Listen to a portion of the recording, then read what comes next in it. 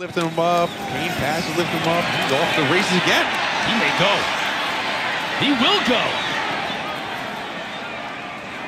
That was 45 yards in a bottle of lightning. Well, maybe you get big plays. You don't have to throw to Trishton Jackson. You just hand the ball off to Moe Neal. And you get that touchdown back. And number 30, Kane Pass is just left out on an island. Gigantic hole up front by the Syracuse offensive line. And Kane Pass, who was injured earlier in the game, just didn't look like he had a lot of explosion. And Moe Neal was off to the races. Point of attack guy? Absolutely. B.J. Raji was a point of Roddy guy. Uh, no, sir. Here is DeVito again dialing long. Jackson in stride. And Trishton Jackson goes the distance.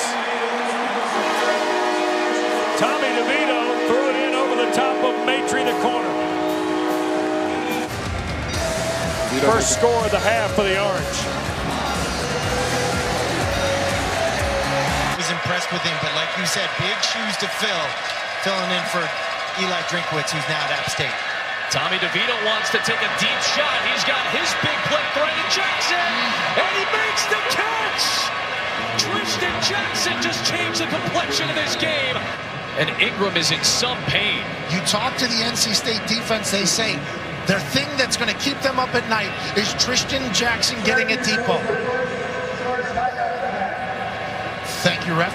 They've been able to contain him for most of the first half, 90% of the first half. Into the game, you get him a couple of hits, and it starts to get the blood flowing a little bit. Quick throw inside, deflected and intercepted. Andre Cisco, first pick of the year, is a house call.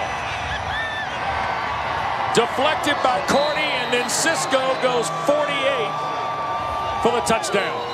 Cisco is able to come down with it, but watch the play by Cordy. A good job getting his arm around. That ball goes up. I think it gets off Jake Bobo as well, but once Cisco gets it, it's 88 out the gate. It's over, and seven combined turnovers between these two teams here in regulation. Got to protect it. Hartman throws it, Hinton trying to freelance. The ball's taken away. Trill Williams running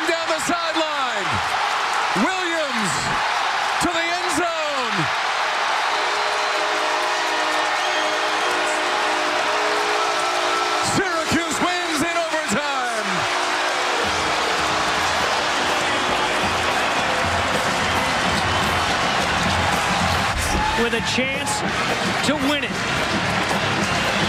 And stripped cash money trillionaire to the house. How's that for a finale? Literally raising the roof here in the Carrier Dome, and it's about to be popped off anyway. Man, what a play! rips it away from Kendall Hinton. And look at him go. Wow, what a football game. Fifth turnover of the game for Wake Forest, and it ends the game. Once Williams took that ball away, James, and had possession for Syracuse, essentially the game was over.